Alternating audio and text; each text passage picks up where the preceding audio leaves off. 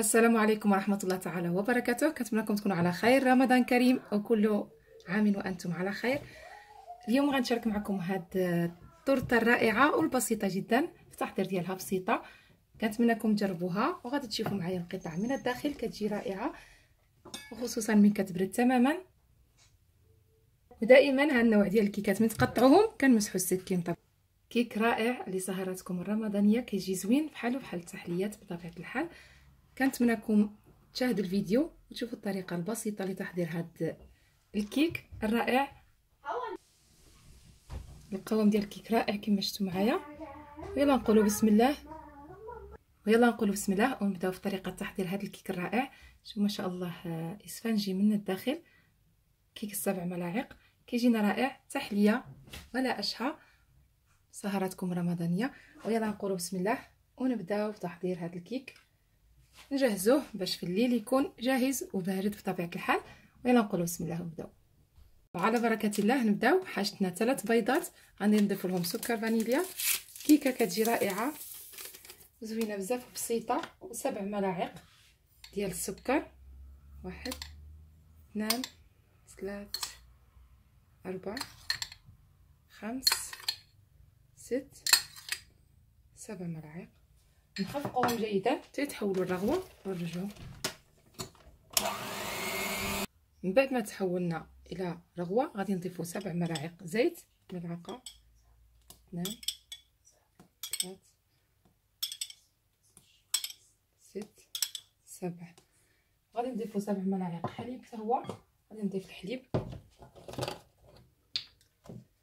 سبعة ملعقة اثنان ثلاث أربعة خمس ست سبعة. نخفقه جيدا. نضيف ملعقة كبيرة مملوءة كاكاو إلى ملعقتين. خميرة الحلويات وزن 16 غرام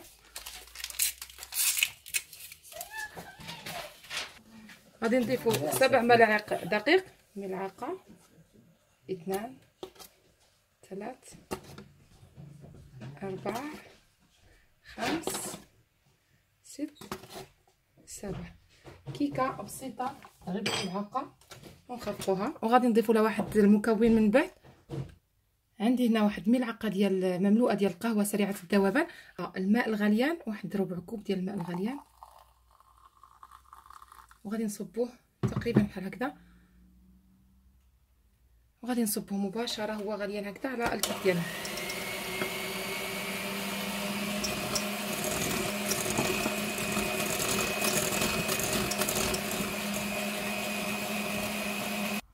وهذا هو القوام ديال الكيك ديالنا.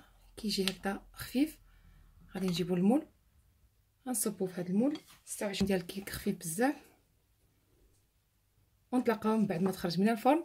واحد 25 دقيقة لأنها خفيفة دغيا غادي طيب باش نزينوها. التزيين هو اللي كيعطيها آه الشكل الرائع والمذاق بطبيعه الكيك ديالنا بعد ما خرجته من الفرن حيدت له الإطار غنتظر على الكيكة حتى تبرد تماما لأننا غادي نضيفو فوق منها كريمة الخفق وتكون باردة جدا كريمة الخفق من الأحسن ونتلاقاو من بعد ما تبرد باش نزينوها. الكيكة ديالنا آه الوجه ديالها حطيناه في الأسفل. ودابا غنحيدو لها الإطار. وهذا هو اللي غادي نحطو فيه الكريمة ديالنا من بعد ما تبرد. حاجتنا للإطار باش نزينو بالكريمه والشوكولاتة وما تنزلناش بطبيعة الحال. شوفوا القوام ديال الكيك كيفاش إسفنجي. كيجي سوفلي بهذاك الكوب ديال القهوة اللي درناه ربع كوب عفوا. حاجتنا 400 ملل ديال كريمة الخفق. باردة باردة بزاف. حطيتها في المجمد باش تبرد. غادي نصبها هنايا. ونضيف السكر الكمية اللي كتوافق كل سيدة ديرها نصيحة دائما الكريمه خفقوها في شي إناء بحال هذا. باش كتخفق بسرعة ماشي بحال الإناء اللي كيكون فانيو ما كيبغيش يخفق لنا دغيا. هذا بسرعة كتخفق. أنا كنخفقها بسكر بودرة. بغيتو تخفقوها بالسكر عادي كيرجع لكم غادي نضيف الملاعق اللي غادي يكفيوني أنايا. وأنتم ديروا الذوق ديالكم. غادي نضيف نصف ملعقة من الكاكاو باش تجينا اللون ديالها. نخلفوا البياض ديالها. غادي نعطيوها شوية ديال اللون بني. ونبدا نخفق. بسم الله. كيما ديالنا آه كيفاش جا اللون ديالها؟ غيرنا البياض.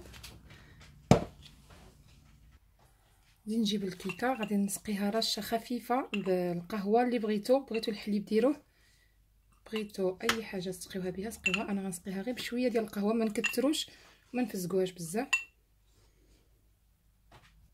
ودابا غنصبو الكريمة ديالنا كاملة. ونمشيوها جيدا على هذا الوجه هذا. وكنبداو نمشيو جيدا. مباشرة دابا إلى المجمد. ديما زيرو مع الكيك باش ما ينزلش الكريمة ويبقى لنا المنظر ديالو زوين. باش يجي متناسق مع الكيك الأسود لتحت والكريمة في الوسط. والشوكولاته غنديروها من فوق. دابا مباشرة إلى المجمد باش نجهزوا الشوكولاتة تكون هي باردة. محتاجين للشوكولاتة واحد نصف كوب ديال الحليب. زبدة صغيرة غادي نديهم فوق النار يغليو. ونضيف لهم واحد 100 غرام ديال الشوكولاتة. كما كانت أي نوع عندكم استعملوه 100 غرام غادي ندير فوق منها. هيا هذا الحليب من بعد ما اندمج مع الزبدة ذوبتهم تغلاو غنصبو مباشرة فوق الشوكولاط ديالي اللي كسرته وننتظر عليه شوية تيذوب نمجو جيدا. كنمجوه جيدا بشي خفاق بحال هذا. تيندمج الحليب مع الشوكولاتة. وتولي فيها اللمعان. نرجع. هادي تحولت إلى هكذا. غادي نجيبو الكيك ديالنا ونصبوه في الوجه. ديالنا مباشرة من بعد ما كنتاكدوا أنها شوية آه، نزل منه الحرارة الشوكولاتة كنصبوها في البلاطه هي تشكلت عندنا الطبقة. ومباشرة دابا المجمد ونتلاقاو من بعد ما تعقد هاد الطبقة. من بعد ما تأكدنا أن الشوكولاتة بردت غادي نجيبو أي سكين. ندوزوه بكل سهولة ونفتحوا الإطار ونخرجوه وهذه هي آه التورتة ديالنا. دائما خليوها في المجمد حتى تاكدوا أنها بردت تماما. والكريمة شدت في راسها الشوكولاتة جمدت. عاد حيدوها من الإطار من الأحسن باش ما تخسر لكمش هاد المنظر ديالها.